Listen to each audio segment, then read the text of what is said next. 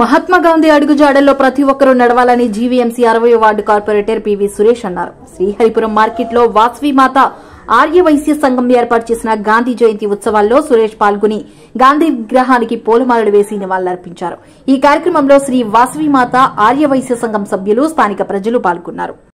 మహాత్మా గాంధీకి జాతిపిత మహాత్మా గాంధీకి ఈ రోజున మహాత్మా గాంధీ గారు మన జాతిపిత అయినటువంటి మహాత్మా గాంధీ గారి జన్మదినం అక్టోబర్ రెండు. ప్రతి సంవత్సరం కూడా ఈ వాసవి మాత ఆర్యవైశ్య సేవా సంఘం వారు శ్రీహరిపురం సేవా సంఘం వారు.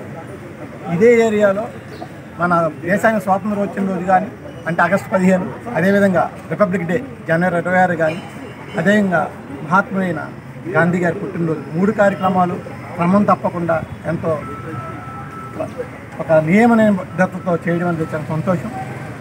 ముఖ్యంగా గాంధీజీ గారిని మనం గాంధీజీ గారిని మాట్లాడుకోవాలి అనుకుంటే ఎంత మాట్లాడుకున్నా తప్పే. ఈరోజు మన దేశానికి స్వాతంత్రం వచ్చింది అంటే ఆయన ఏ విధంగా అహింస ధర్మం అని రెండు మార్గాలు ఎంచుకొని బ్రిటిష్ వారిని పారదోలేరు మనందరికీ తెలుసు. ఈరోజు ప్రపంచ దేశాలన్నీ కూడా మన గాంధీ గారిని ఒక దైవంగా కొలుస్తారు. దేనికంటే ఆయన పాటించిన వైనం.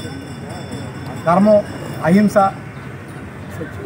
సత్యం. గాంధీ జయంతి అని అక్టోబర్ ఫస్ట్న రెండో తారీఖున ఏక్ గంట శ్రమదానం ఒక గంట శ్రమదానం. చేయమన్నారు ప్రతి పౌరుణ్ణి కూడా. సంవత్సరానికి వంద గంటలు వారానికి రెండు గంటలు. దేనికి అంటే మనం ఒక్కసారి ఒక ఏరియా క్లీన్ చేస్తే దానిలో సాటిస్ఫాక్షన్ ఉంటుంది. కాబట్టి ప్రతి ఒక్కరిని కూడా దాన్ని ఇన్వాల్వ్ చేయడం. అటు ప్రధానమంత్రి వర్యులు కానీ దాన్ని మన ముఖ్యమంత్రి వర్యులు కానీ ఒక కార్యక్రమం పెట్టుకొని నిన్న యూఎంసీ కూడా చెప్పడం ఈ కార్యక్రమం చేయడం అంటే గాంధీ గారిని ఎవరో కూడా ప్రధానమంత్రి అవని ముఖ్యమంత్రులు అవని ఎవరో కూడా మర్చిపోరు. ప్రపంచ దేశంలో అన్నీ కూడా ఈ రోజున గాంధీ గారి గురించి మాట్లాడుకోవడం.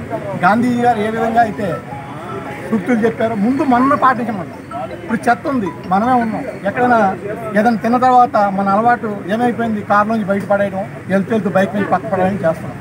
నా హంబుల్ రిక్వెస్ట్ ఏంటంటే ముందు మనం మారుదాం. గాంధీ గారు చెప్పింది అదే. ఫస్ట్ మనం మారాలి.